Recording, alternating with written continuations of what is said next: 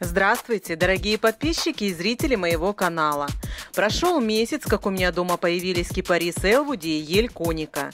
Я им создала правильные условия, температуру плюс 5, плюс 15 градусов, опрыскиваю периодически их, поставила рядом с ними увлажнитель воздуха и включаю его каждый день на 3-4 часа. Стоят они у меня на прохладном подоконнике, открываю постоянно микропроветривание, поливаю раз в неделю и берегу от прямых солнечных лучей. Как видите, растения чувствуют себя хорошо и пошли в рост, стали обрастать новыми ярко-зелеными побегами. Но совсем недавно нашла информацию о том, что не стоит радоваться, если елочка пошла в рост. Это лишь означает, что условия ее содержания до покупки были более прохладными, а теперь для нее наступила весна. Деревце должно зимой обязательно отдыхать, поэтому его нужно перенести в более прохладное место. Рекомендуют разместить его на застекленном балконе, укутать сам горшочек чем-нибудь теплым и на растение укрыть растение пластиковой бутылкой трех или пятилитровкой.